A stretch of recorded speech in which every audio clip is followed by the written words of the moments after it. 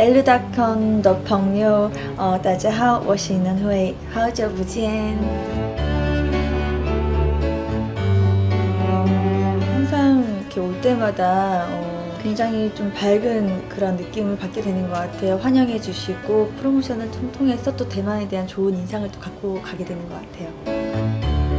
어, 굉장히 패션이나 이렇게 미용 쪽에 관심이 많다는 생각이 들었어요. 어, 느 나라뿐만이 아니라 뭐 대만뿐만이 아니라 모든 세계적으로 여자들의 또 그런 관심사이기도 하지만 또 되게 앞서가고 있다는 생각이 들었었어요.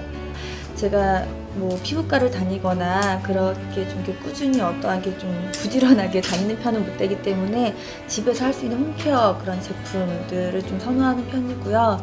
예, 좀 그런 쪽으로 제품에 좀 관심이 많아요. 그래서 어, 오늘 아침에는 팩도 하고, 네, 뭐 그런 식으로 좀 평상시에는 안 하던 것들을 좀 중요한 스케줄 앞에 이렇게 좀 다가왔을 때는 팩도 하고 여러 가지 좀 집에서 할 수 있는 것들을 좀 네, 좋아하는 것 같아요. 항상 어떠한 기준 같은 것들은 좀 변하는 것 같아요. 근데 지금 생각하는 그런 기준은 어, 아름다운 것 같아요. 왜 어릴 때는 진한 화장이 안 어울리고 그 원래의 것들이 좀 아름답듯이 어, 그때그때마다의 자연스러운 모습을 조금 이렇게 내추럴하게 표현을 하는 것이 가장 아름다움이 아닐까. 네, 그런 생각이 들어요. 지금은 제가 학업에 열중하고 있어서 상반기에는 지금 열심히 공부하고 있고요.